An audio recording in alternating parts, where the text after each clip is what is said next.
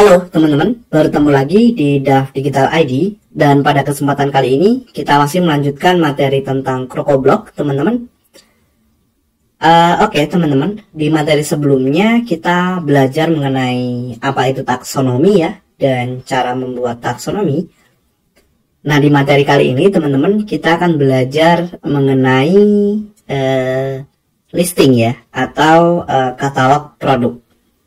Nah jadi teman-teman di dalam CrocoBlock itu kita diizinkan atau kita bisa membuat sebuah katalog produk sesuai dengan keinginan yang kita inginkan ya. Jadi tidak terbatas ya. E, misalnya kalau teman-teman pakai Elementor Pro ya, itu kalau teman-teman ingin mendesain untuk listing artikel atau post, biasanya e, hanya menggunakan eh, desain-desain yang sudah memang e, mereka siapkan gitu ya. Tapi kalau di dalam CrocoBlock, teman-teman misalnya ingin membuat layout yang diinginkan, itu bisa ya. Contohnya seperti ini ya. Nah ini adalah produk yang saya miliki teman-teman. Atau template kit untuk website dealer mobil ya. Nah contohnya kita membuat layout seperti ini, itu bisa ya teman-teman. Uh, misalnya kita bisa menampilkan uh, harga produk ya. Atau nama produk. Kemudian spesifikasinya. Contohnya di sini misalnya untuk transmisinya tahun pembuatan, jenis bahan bakar, dan seterusnya. Nah ini teman-teman bisa atur sesuai keinginan ya. Misalnya untuk uh, buttonnya teman-teman ingin letakkan di bagian atas, gambarnya di bawah, atau gambarnya di samping sebelah kiri, teksnya di samping sebelah kanan. Itu bisa ya, sesuai dengan keinginan yang teman-teman inginkan. Nah, kurang lebih teman-teman mungkin sudah ada gambarannya seperti apa itu listing. Nah, listing ini tidak terbatas hanya untuk uh, custom post type yang kita buat teman-teman. Karena kalau kita lihat di sini kan kita sudah punya custom post type produk. Nah jadi uh, tidak terbatas untuk ini. Listing juga bisa kita gunakan untuk mendesain listing post ini ya. Nah tapi di video ini teman-teman karena kita fokus ke dalam pembuatan uh, custom post type ya. Dan kita akan mendesain dengan listing untuk custom post type tersebut. Oke, okay? nah tapi sebelum mulai teman-teman jika teman-teman uh, membutuhkan jasa pembuatan website ataupun template kit WordPress dan kursus WordPress atau hal yang lainnya, teman-teman nanti bisa klik link yang ada di deskripsi video ya. Nah setelah itu teman-teman bisa baca lebih detail atau teman-teman bisa tanya saya melalui WhatsApp di sini. Oke, nah sekarang kita kembali ke materi. Nah di sini untuk membuat listing, teman-teman pastikan sekarang sudah ada di dashboard website tapi sebelum itu teman-teman kita tambahkan dulu ya produk yang kita miliki. Karena di sini kan kita belum menambahkan produk apa pun ya. Dengan custom post type yang sebelumnya kita buat. Kita kasih nama di sini misalnya rumah minimalis gitu ya. Kemudian harganya, nah kita bisa setting harganya berapa. Misalnya 450 juta. Nah seperti ini ya. Lalu alamatnya, nah alamatnya teman-teman bisa setting ya Contohnya saya input Helvetia Medan gitu ya. Kemudian teman-teman juga bisa atur fiturnya di sini. Nah, misalnya seperti ini atau kita bisa tambahkan yang lainnya. Untuk fiturnya misalnya uh, eh, CCTV gitu ya atau misalnya uh, pos keamanan dan seterusnya ya. Nah, setelah itu di sebelah kanan teman-teman cari ya uh, taksonomi kota Misalnya saya pilih Medan di sini. Kemudian jenis propertinya karena ini rumah, maka saya ketikkan rumah. Nah ini, lalu gambarnya di sini. Nah teman-teman nanti bisa upload file dan select file. Contoh di sini teman-teman saya akan ambil dari yang sudah saya download ya. Saya langsung tarik ke sini teman-teman.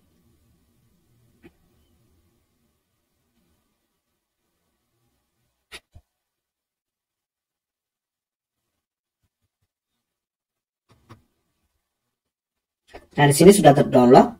Saya akan set fitur image. Oke, sudah ada ya. Nah, sekarang kita publish. Nah, ini sekarang kita tinggal buat desain listingnya atau desain katalog produk ke bagian Jet Engine, lalu ke bagian listingnya. Nah, di sini teman-teman add new listing. Pastikan kita ambil dari post ya. Karena kan ini dari post ya, teman-teman Oke, lalu kita ambil from post type ya, yaitu post type yang kita buat sebelumnya produk. Lalu kita kasih nama, misalnya listing produk. Setelah itu kita gunakan Elementor. Untuk saat ini listing view dari CrocoBlock mendukung Elementor dan Blocks Gutenberg dari WordPress ya teman-teman ya. Jadi kalau teman-teman pakai Divi Builder itu belum kompatibel saat ini ya. Tapi kalau tidak salah, Bricks Builder itu sudah kompatibel. Teman-teman bisa cek ya. Tapi di sini kita gunakan yang populer yaitu Elementor. Klik Create Listing Item.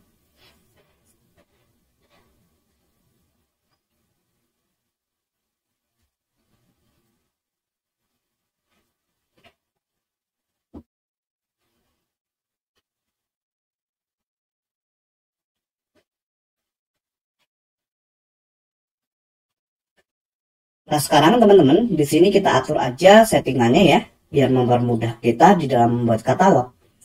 Ke setting, listing settings. Kita atur di sini 350 width. Widthnya ya, maksudnya 350. Kemudian kita bisa atur di sini menjadi listing clickable. Artinya ketika diklik nanti listingnya itu bisa mengarah ke dalam detail artikelnya atau ke dalam detail post.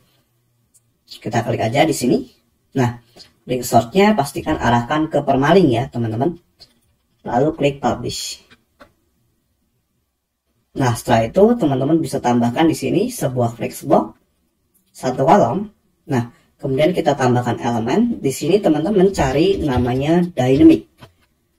DYN ya. Nah di sini banyak teman-teman fitur dari Jet Engine yang bisa teman-teman gunakan.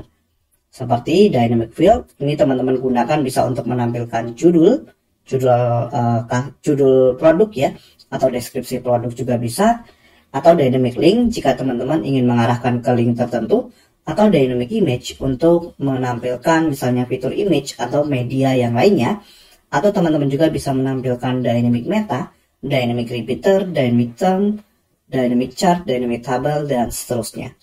Nah, pertama pastinya kita akan gunakan gambar teman-teman di sini. Jadi kita akan mengambil gambar dari uh, properti yang kita miliki, kita menggunakan dynamic image.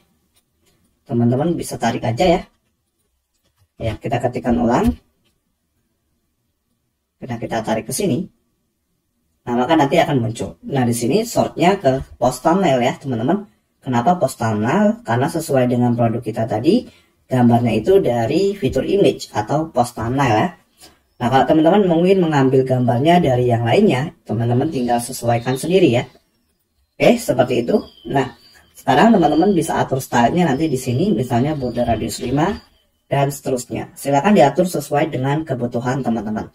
Nah, saat ini kita akan mengambil beberapa data lagi, misalnya mengambil judul artikel atau judul produk ya.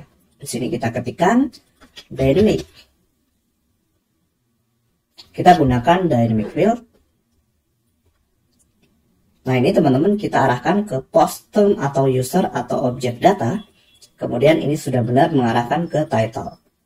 Nah kalau teman-teman ingin tampilkan data yang lain silahkan dipelajari ya. Nanti teman-teman tinggal atur stylenya di sini. Misalnya seperti ini. Nah kemudian kita bisa publish. Nah misalnya sekarang teman-teman ingin menampilkan harga di sini Teman-teman juga bisa menggunakan yang namanya dynamic field juga ya. Kita ketikkan dynamic field, tarik ke sini. Nah, kemudian teman-teman bisa ambil dari metadata. Oke, jadi uh, kalau teman-teman ingat, ketika kita membuat sebuah custom post type ya, itu kan contohnya di sini ya. Misalnya ini produk yang kita miliki. Nah, ini ketika kita edit, Nah, data yang ada di dalam sini itu kita sebut dengan metadatanya ya, teman-teman ya. Oke, jadi kita ambil dari metadata, lalu metafieldnya kita arahkan ke dalam uh, custom post type produk. Karena tadi kita ingin menampilkan price, maka pilih price atau harga. Nah, maka saat ini harganya sudah tampil. Nah, di sini teman-teman bisa uh, mengatur settingan yang lainnya ya. Karena ini kita menggunakan harga, kita bisa atur yang lainnya ya jadi misalnya kita atur di sini untuk filter outputnya. Nah kita bisa aktifkan lalu callbacknya misalnya kita ingin menggunakan format number. Jadi biar ada pemisah ribuan ataupun pemisah uh, uh, desimalnya ya teman-teman ya. Nah di sini desimal poin kita pilih koma, lalu tahu separator titik dan kita buat nol untuk desimal poinnya. Jadi seperti ini. Oke. Nah sekarang misalnya teman-teman ingin menambahkan sebuah currency ataupun uh, mata uang di di bagian depan, teman-teman tinggal aktifkan di bagian custom fill output. Nah di sini sebelum uh, di bagian ini teman-teman tambahkan rp titik. Nah, jadi otomatis nanti ketika teman-teman menambahkan sebuah produk, maka otomatis formatnya akan seperti ini ya. Ada uh, currency-nya, kemudian ada uh, format numbernya ya. Nah kurang lebih seperti ini. Oke, okay? publish. Nah berikutnya apa lagi? Berikutnya misalnya teman-teman ingin menampilkan alamat ya. Alamat sama teman-teman kita bisa menggunakan namanya dynamic field.